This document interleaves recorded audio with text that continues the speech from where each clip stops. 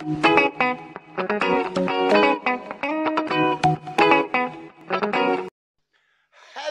visuals, and welcome back to the Visual Guyz podcast with me, Dan, and me, Chris. Not really visuals. It's another solo edition. How how lucky you guys right now? You get to tune in, listen to the Visual Guy podcast, and listen to this fat bastard ramble on for God knows how long about Miss Marvel, because it is the Miss Marvel spoiler heavy review for episode one. Uh, went up on what uh, Wednesday.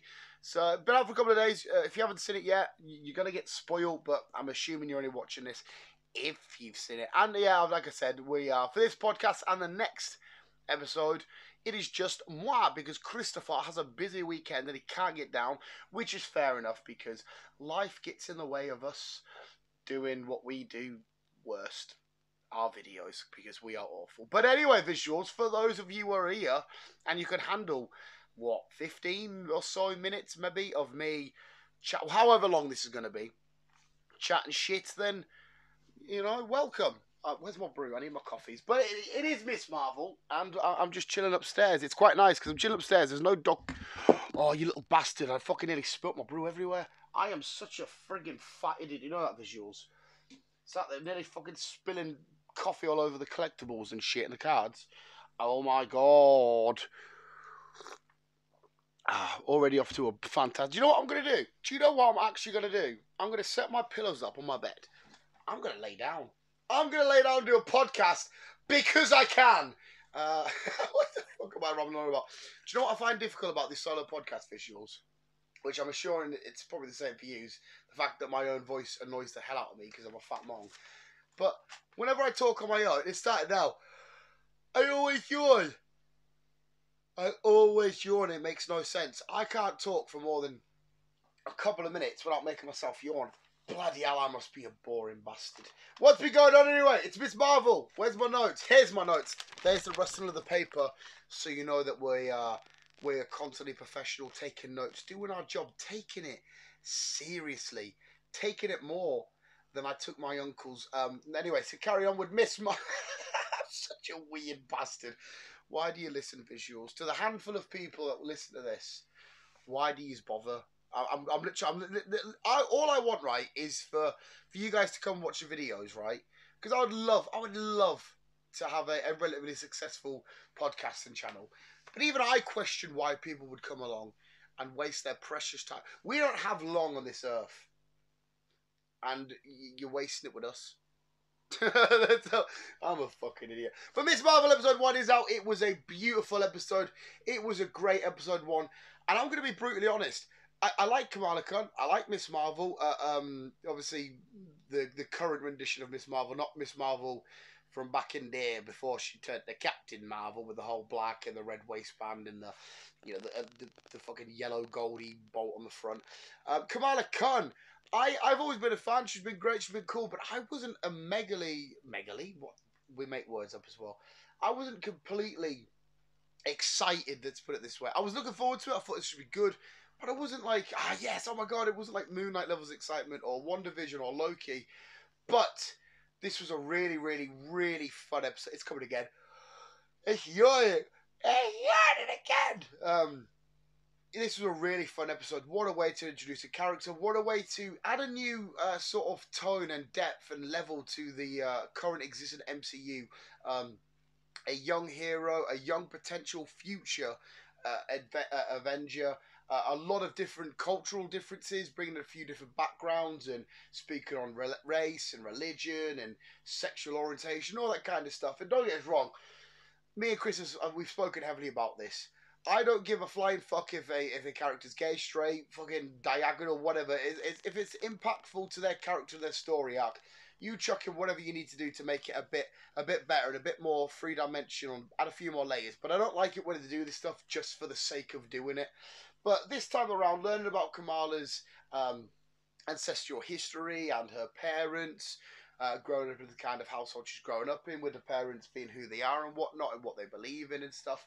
It's it's gonna make the the show more interesting because you have to balance the her school life, her friend life, her her house life, uh, eventually becoming a superhero life, with all the other stuff that makes Kamala Khan chucked into the mix. It's going to be so great. And the one thing that I really, really, really got on board with with her was I can sympathise and relate to her love for a superhero. She absolutely adores and loves Captain Marvel in this episode. Well, not well in in general in, in the whole of the thing.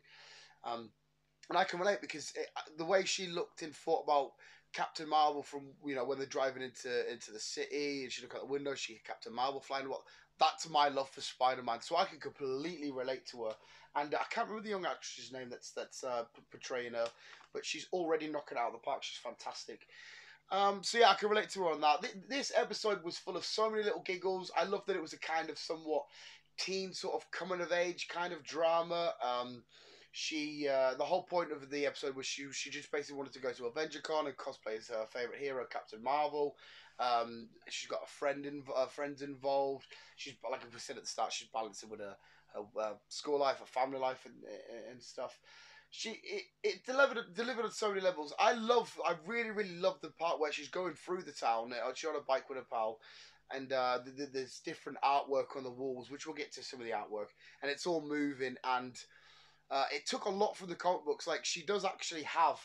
It's actually one of my notes. I'll just chuck it out there. The thingy. Her hobby um, of like making these little weird fanfics uh, is actually something they took from the comics, uh, and I'm pretty sure if I remember correctly, in the one of the early issues of Miss Marvel, it was like four five, six, something like. It was one of the earlier issues. Uh, I'm pretty sure she actually mentions Wolverine that to Wolverine that she did a, a little fanfic of her of him and Storm and whatnot. So they've took a a couple of elements that make Kamala Khan from the comics into the show, which is always fantastic. Um, but I love that part of it, you know, bringing the social media, how kids are these days, because you got to remember we're not dealing with a you know a middle-aged man of, of Tony Stark or a super old man of Steve Rogers or um, even a, completely different to Peter Parker, who's balancing. I never fucking yawn.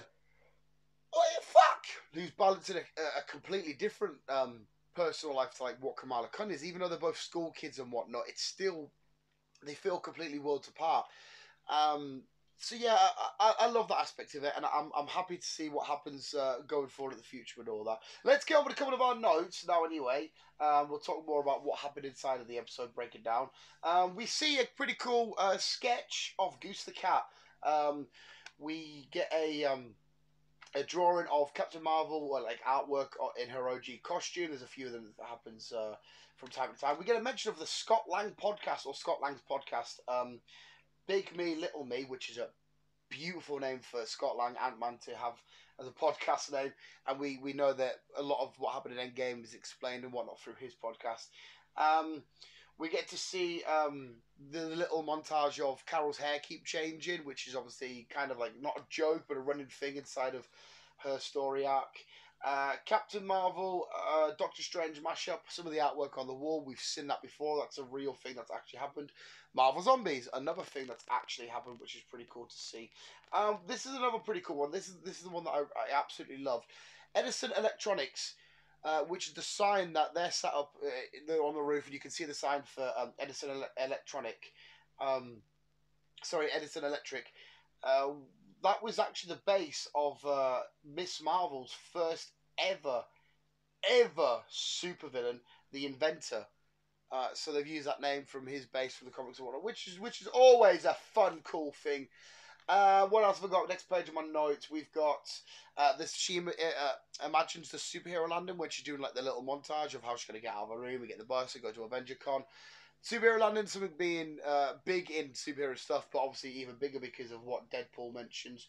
This one, this is an infinite what we can go through. I'm sure you've already spotted your own ones, but when we get to AvengerCon, um, we see loads of different cosplayers, cosplayers of Cap and Hulk and blah blah blah. The list goes on. Uh, the the cool thing is where we actually are for um, AvengerCon, Camp Lee, uh, or is it Lay? I can never pronounce it. Uh, which is the birthplace of Captain America, but coincidentally, it's not just Captain America's birthplace. That's where he trained and whatnot. it's Arnim Zola's technical and Hydra's birthplace because it's the place where Arnim Zola split, split his mind into different um, drives and stuff. So it's it's his also his birthplace and Hydra's birthplace, I guess. Uh, the Black Widow and Iron Man shrine. Black Widow finally being acknowledged for a sacrifice in Endgame, which is cool. Um, the toys and collectibles and stuff we see at the stores at AvengerCon are actual toys and whatnot that you can buy from like Hasbro and shit in, in the real world. So that's awesome. Uh, the Department of Damage um, Control.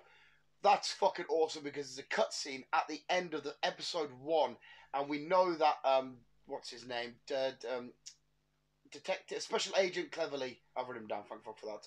From No Way Home is in this, and uh, they're on about oh have you seen this at Avenger Con? This somebody with these powers, and they're gonna. we know that they're gonna investigate Kamala Khan. Kamala Khan, who's had.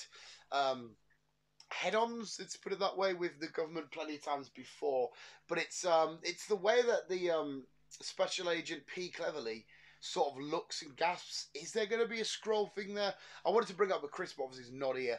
But i think there could be some sort of Skrull shenanigans happening inside this episode purely based on because we know where Miss Marvel is eventually going to be heading with the, uh, if they're still calling it the Marvels film and whatnot, um, could she eventually find a way to Nick Fury and all that carry on? Because we know she's going to have Cosmic Key sort of uh, powers, and we know that they're interested in Another yawn!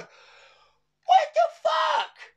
But that uh, is my notes visuals. That is my notes for um, Miss Marvel episode one. I also did wanted to point out the fact that um, I'm not going to brush through everything because I'll just put it out there. We know that her origin for the MCU is going to be slightly different from comics, which is nothing new to the MCU. They've done that millions of times with, with different origins and stuff.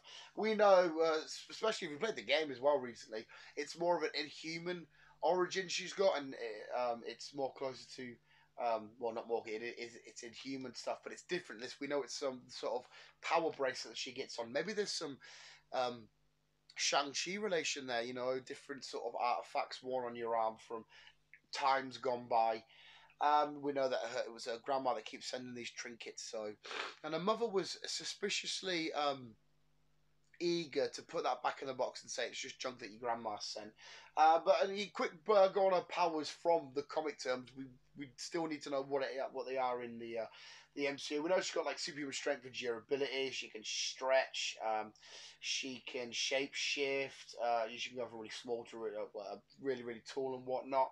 Um, biomass manipulation. Um, she can um, energy blasts and whatnot. So she's um, definitely cosmic, a, a, a, cosmic Reed Richards. Let's put it that way, with a little bit more shaz, Shazam and and sparkle and whatnot. Uh, but that is my notes for Captain Marvel. I can screw them all up and put away. But yes, I thoroughly enjoyed. Oh my god, can I get this in the bin from here? Let's see. One, two, three. Right. I can either lie to you visuals or I can tell the truth. I'm going to say I lied and close my eyes and got it straight in the bin, and that's all we're going to go with. All right, done, done an amazing, an amazing shot. LeBron James. Um, yeah, the episode was great.